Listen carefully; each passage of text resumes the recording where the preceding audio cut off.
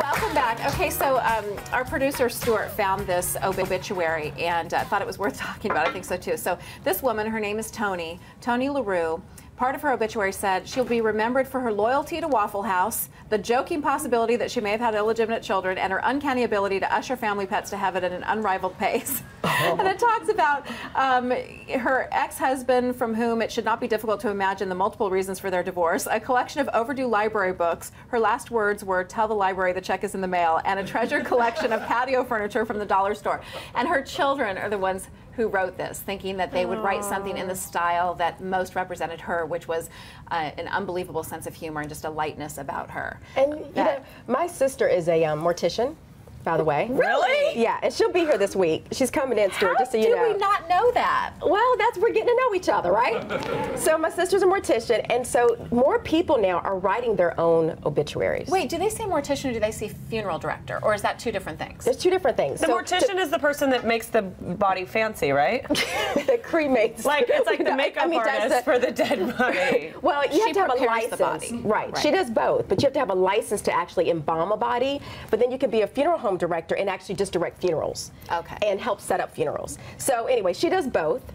And um, she says more, many more people now are starting to come in and plan their own funerals. They're writing their own obituaries. I mean, they're deciding what songs they want to have at their funeral. Yeah. They're planning it all out ahead of time.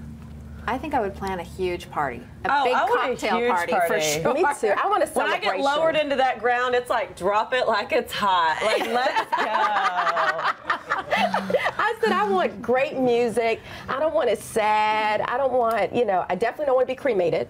I told my family, do not burn me. Who would I let pick out my outfit? That's a That's big the- you better responsibility. pick it out now. Pick it you out would have now. to have it planned. Pick it out now. Because guess what? We all gonna die. It's, that's one thing. Just don't let Kim Tamala- Kardashian pick out tell my outfit. Tamala's laughing. Tamala Man is here. We gonna all die. It's it's we gonna all. That's the bottom line. So you might as well go ahead and plan the outfit. Decide how you want to be remembered. Look at Tamala. Decide how you want to be remembered because it's gonna What would happen. you want? What's the funniest thing you would want people to say about you?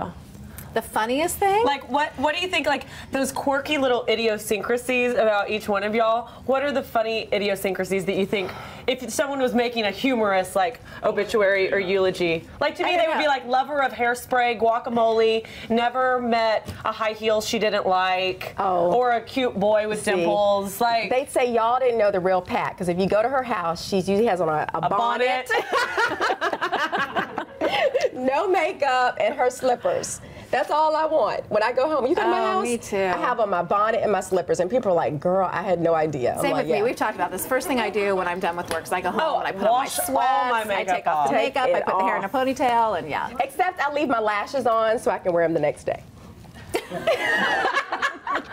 You know, it's not And that, it's there not you that go. hard How just to to be re-glue naturally- them on. How to be naturally beautiful on. by Pat Smith. Yeah, just keep the lashes on. Save them. No, I don't know. I don't, sure what people would say. I'm, I'm really not sure. I mean, I think they would say I'm a good mom, hopefully. That's not. That you fun. love wine. No, That someone's not funny. funny. Oh, they would say, yeah, that, Something that- we don't know. Yes. They would say yes, mo- that her love of wine was unrivaled, probably. Did you have a Did nickname? I have a nickname? No. no nickname? No. What did- God, do you it's have a really nickname? boring. Um, Patty Melt. Oh, I like- when I was cute. probably like in my early 20s, one of my guy friends nicknamed me Little Bunny Court Court. I do like a little bunny foo foo. God, I hope you're not still talking No, to him. but no, but so some people still call me Bunny or Little Bunny. I can see that. And my ex-boyfriend, he would actually call me Bunny. Like that was our nick, like our pet names for each other. So when people call me Bunny now, I'm like, whoa, whoa, whoa! I've hung up that single girl. I'm much more mature and sophisticated now. Oh. I've never had a cute nickname. I've always That's been not a Lisa. cute nickname. I've always had. Lisa P.